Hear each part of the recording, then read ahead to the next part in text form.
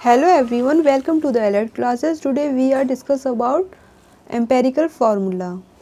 Empirical formula जो है उसको हम देखते हैं the formula that show the simplest ratio of atom of various elements present in a compound जो हमारा कंपाउंड में जितने भी एलिमेंट्स या एटम होते हैं उनको सिंपलेस्ट रेशियो निकालना पड़ता है हमको एम्पेरिकल फार्मूला फाइंड आउट करने के लिए ठीक है तो हमारा जो ये ये मॉलिकुलर फार्मूले दिए गए हैं, ये बेंजीन है, ये एसिटिलीन है और ये हमारा ग्लूकोज है और ये वाटर है।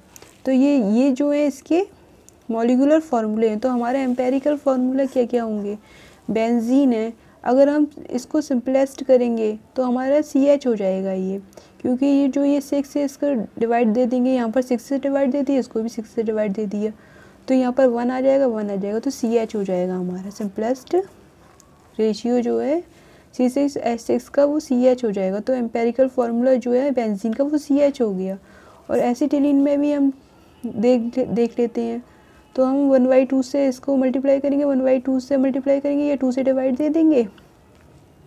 तो हमारा जो फार्मूला आएगा, ये भी सी एच हो जाएगा। सिंपलेस्ट फार्मूला जो एम्पेरिकल फार्मूला है, वो सी एच है।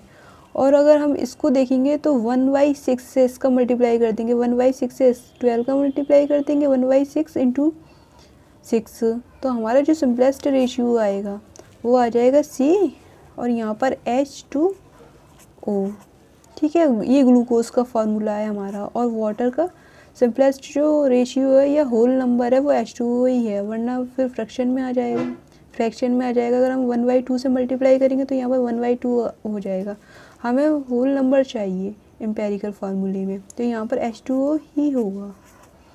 एम्पेरिकल फार्मूले को फाइंड आउट करने के लिए हमें क्या क्या स्टेप्स हैं, वो हम देखते हैं।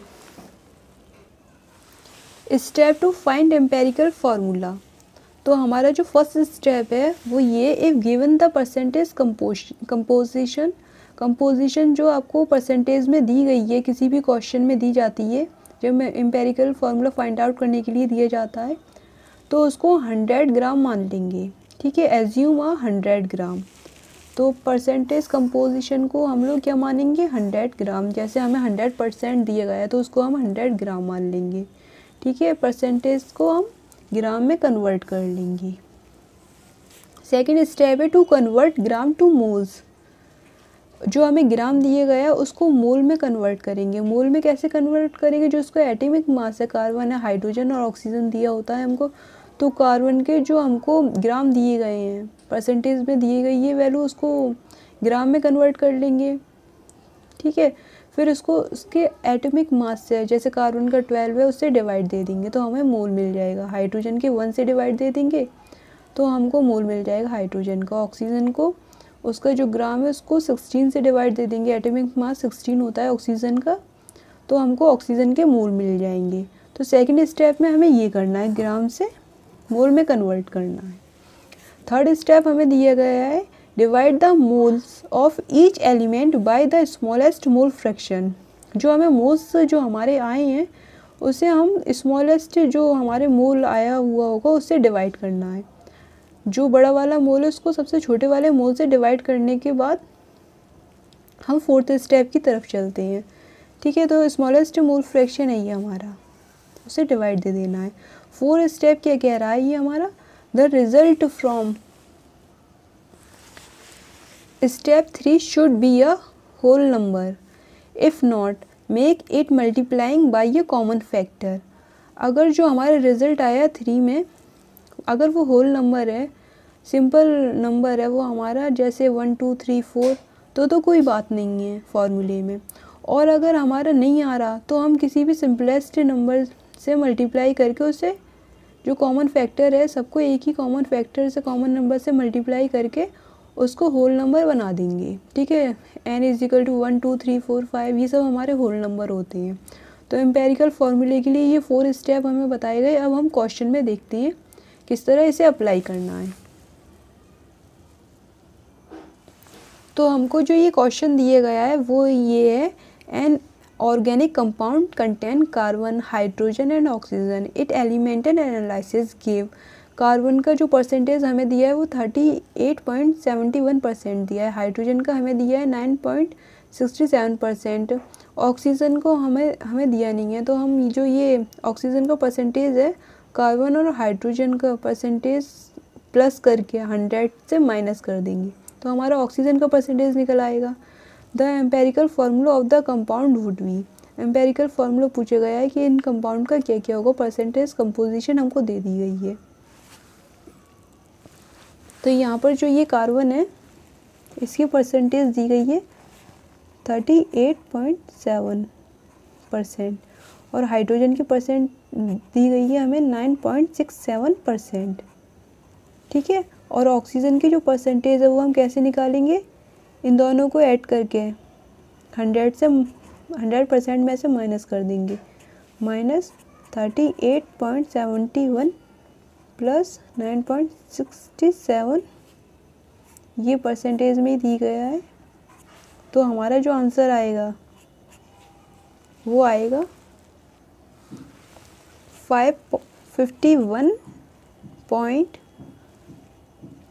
six two. ये हमारा ऑक्सीजन का परसेंटेज आ जाएगा। हम इसको ऐसे भी कर सकते हैं, ये जो परसेंटेज दिया है, इसको डायरेक्ट हम हंड्रेड ग्राम मान लें। अभी हमने हंड्रेड परसेंट मान के किया है ये क्वेश्चन इसको हम हंड्रेड ग्राम मान लेंगे। तो हमारा जो कार्बन है, हमारा जो कार्बन है, वो कितना ग्राम है? कार्बन हमारा thirty eight point seventy one gram है। ठीक है हाइड्रोजन कितना है हमारा? Nine point six seven gram and oxygen हमारा कितना आया? Fifty one point sixty two percentage को हम ग्राम में चेंज कर रहे हैं। Fifty one point six two gram. अब जो हमारा जो सेकंड स्टेप था कि जो ये आपको ग्राम दिया है, इसको मोल में कन्वर्ट कर लो। तो जो ये हमारा कार्बन है, ये हाइड्रोजन है, ये ऑक्सीजन है, इसका जो ग्राम दे दिया, वो थर्टी एट पॉइंट सेवन है। और इसका एटॉमिक मास कितना है? ट्वेल्व है, कार्बन का एटॉमिक मास ट्वेल्व है, ठीक है? हाइड्रोजन का नाइन पॉइंट सिक्स सेवन है और इसका एटॉमिक मास वन है। और ऑक्सीजन का कितना ग्राम है? Fifty one point six two gram है ऑक्सीजन का। और इसका एटॉमिक मास जो है वो सिक्सटीन है ऑक्सीजन का। तो इसकी जो वैल्यू आएगी, वो आएगी, आप कैलकुलेट करके देखिएगा, इसकी वैल्यू आएगी थ्री पॉइंट टू थ्री। और हाइड्रोजन की जो वैल्यू आएगी, वो आएगी nine point six seven.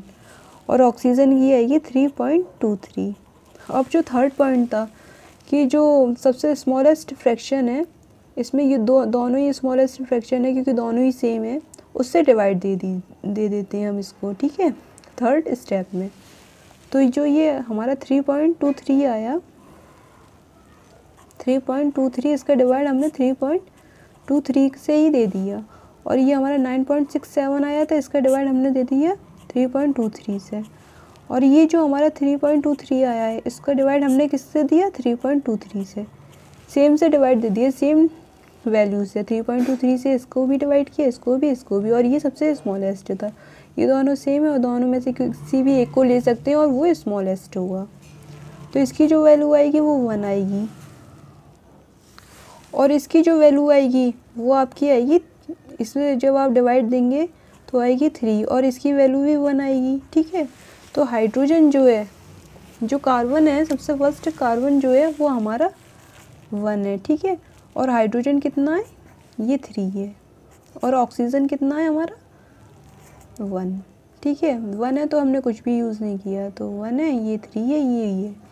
Oxygen ये तो सी एच थ्री ओ ये हमारा एम्पेरिकल फार्मूला है। यही हमारा आंसर हो गया। ये हमारा एम्पेरिकल फार्मूला है। ठीक है? अगर हमारा ये फ्रैक्शन में आता सपोज़ जैसे ये है, यहाँ पर लिख देते हैं वन बाई टू है। जैसे कार्बन वन बाई टू आता हाइड्रोजन थ्री बाई टू आता, ये ऑक्सीजन है तो हम क्या करते हैं? टू से मल्टीप्लाई कर देते तो यहाँ पर टू से मल्टीप्लाई करेंगे तो कार्बन वन आ जाएगा और टू से मल्टीप्लाई करेंगे तो हाइड्रोजन हमारा थ्री आ जाएगा और ऑक्सीजन तो हमारा वन है ही, ठीक है? अगर हमारा होल नंबर नहीं आ रहा तो हम मल्टीप्लाई कर देते हैं इसको। और सेम नंबर से मल्टीप्लाई करेंगे, इसको भी टू से मल्टीप्लाई किया, इसको भी टू से मल्टीप्लाई किया। तो टू और टू डिवाइड हो गई यहाँ पर भी टू और टू डिवाइड हो गया तो वन और थ्री आ गए, यहाँ पर वन थ्री वन तो ये एम्पेरिकल फार्मूला है ये। मैंने आपको बता दिया है मतलब रफ वर्क है ये, ताकि आप फंसे नहीं क्वेश्चन में। ठीक है तो आंसर जो हमारा एम्पेरिकल फार्मूला है, ये आंसर जो है सी एच थ्री ओ ये हो गया। तो हमने पूरा कॉन्सेप्ट समझ लिया आज एम्पेरिकल फार्मूले का और आप आगे जो क्वेश्चन दिए गए हैं, वो आप देखिएगा करके आपसे इजीली सॉल्व हो जाएँगे। Okay thank you